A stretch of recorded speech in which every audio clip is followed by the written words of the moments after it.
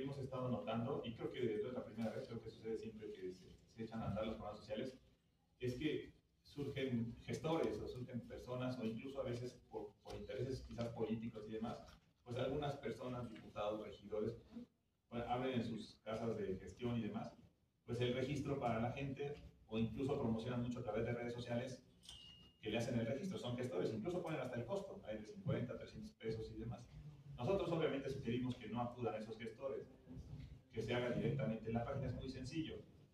Como comentaba el, el delegado, todos los programas de bienestar, obviamente el de becas también, son gratuitos, no tienen ningún costo, no, no, no le cuestan absolutamente nada a nadie. Sin embargo, nos vamos a ver hasta la complejidad del registro. Nosotros, como si no, pues cualquiera nosotros lo podemos hacer,